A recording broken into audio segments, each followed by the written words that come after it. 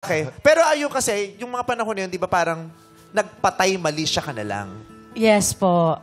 Pero syempre may effect yun, di ba? May shock na, oh my God, may, may nililigawan na pala to. So, tsaka kung may nililigawan siya, parang isipin mo, wala tong balak sa akin Correct. kasi Paano may yun? nililigawan eh, di ba? Ano ko, di ba? Pero patay mali siya. Ang layo pa ng ano, ah, Cavite, girl.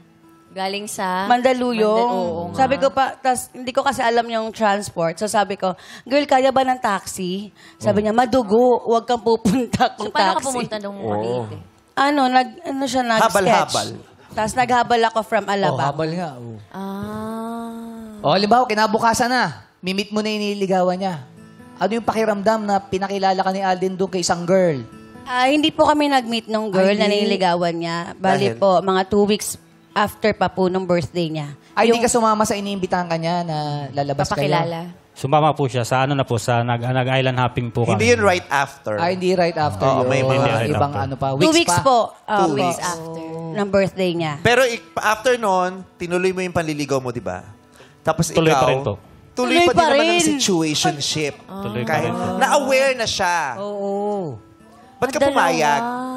Parang na ano lang po, nag, gusto ko rin po mag, at the same time, ma-explore po yun kasi mahilig siya maggala. Nag-explore? Si Dora ka ba? Ay!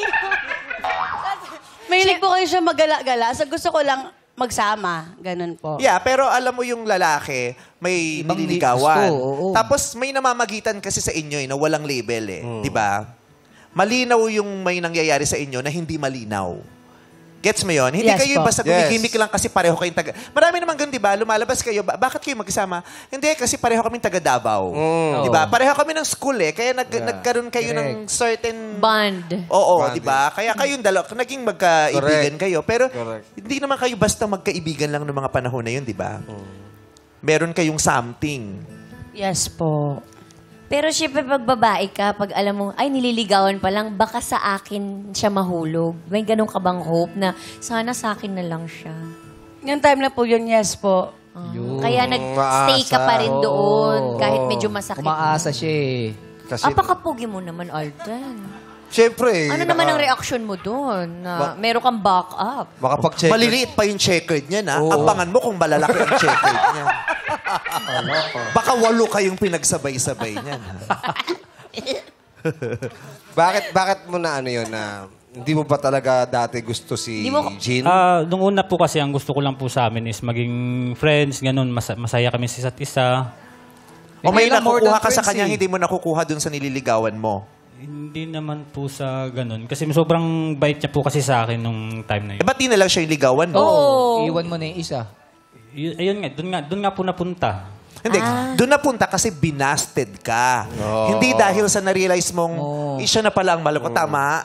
Tama din po. alam ko yung story niyo talaga. Huwag niyo ako Ay, pinagluloko. Taga-Davao ka din. Taga-Davao ka. Inaha? Taga-Davao ka din. Tagbilaran. Girl, kababata mo pala sila. Oo. Bohol. Di ba? Para talaga siyang fallback. Tinuloy mo yung panliligaw eh. Ikaw naman, patuloy ka pa rin sa pat- situationship. Ini-enjoy mo din naman yun eh, di ba? Yes po. Tapos, binasted ka.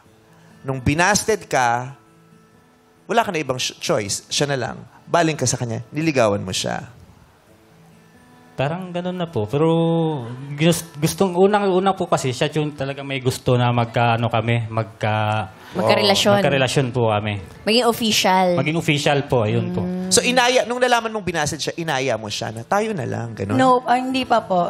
Nag, ano pa po ng ilang months. Ah, nagkanta pa siya uli na bago liligawan? Hindi. Hindi naman. Hindi Or po. nag-continue lang yung situationship niyo? Opo. Tapos nalaman ko na lang po na nag-stop na siya sa nililigawan niya kasi more on nakafocus na po siya sa akin. Ah, nararamdaman mo na puro sa iyo na yung attention parang ikaw niya. na gawa. Yeah! Ipinagdasa, ipinagtulos mo ba yun ng kandila? Pinanobena. yes po. Mahal mo talaga si Alden. Noong time na yon, opo. Wala kang contact doon sa babae that time, nung nililigawan niya pa. Meron po. Ah, may, ko- may nag-uusap din kayo nung Naging friend nililigawan po niya. sila nun. Naging friend na, until now, naging friend na po kami. so, chinarot-charot mo rin yung babae, no?